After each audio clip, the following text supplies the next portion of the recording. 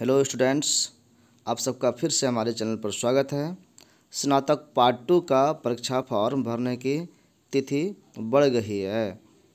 आप जानते हैं कि अभी पार्ट टू का फॉर्म भरा रहा है और 28 तक डेट था।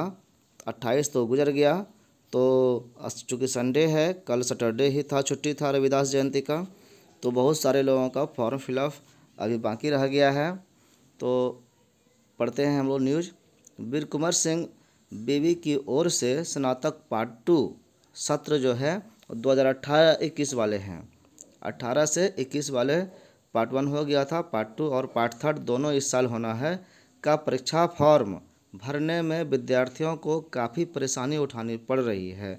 इसकी वजह वेबसाइट की त्रुटि बताई जाती कुछ इसमें एरर आ गया था वेबसाइट में, इस कारण से परेशानी हो रही थी तो वो एरर दूर कर लिया गया है।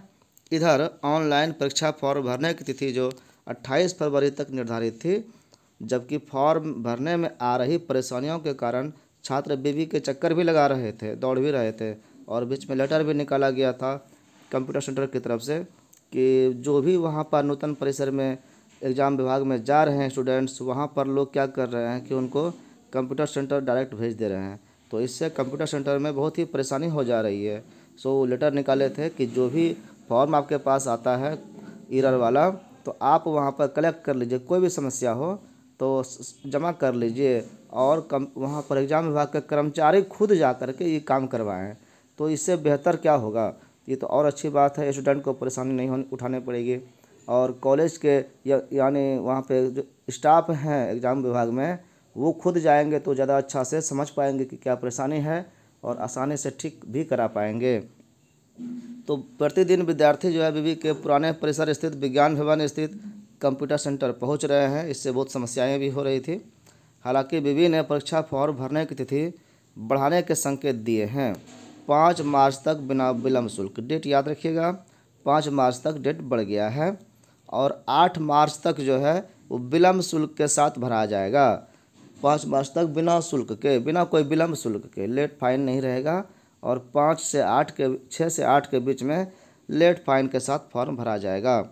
इधर बीवी की माने तो तकनीकी कारणों से पिछले दिनों वेबसाइट में खराबी आ गई थी, जिसे जल्द ठीक कर लिया गया है। अभी तक बीवी के 80 परसेंट जो छात्र छात्राएँ हैं, वो परीक्षा फॉर्म भर चुके हैं। परीक्षा शुल्क के रूप में बीवी के खाते में लगभग अड़तालीस लाख रुपये आ गए हैं। तो ये आपके लिए नहीं है।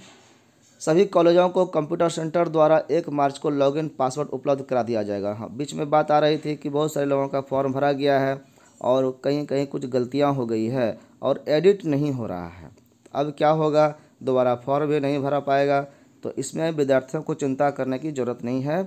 एक तारीख से, यानी कल से सभी कॉलेजों को लॉगिन आईडी और पासवर्ड दे दिया जाएगा उसको करेक्शन करने के लिए और आप जाके कॉलेज में कंप्यूटर सेंटर में मिल करके उसको ठीक करा सकेंगे।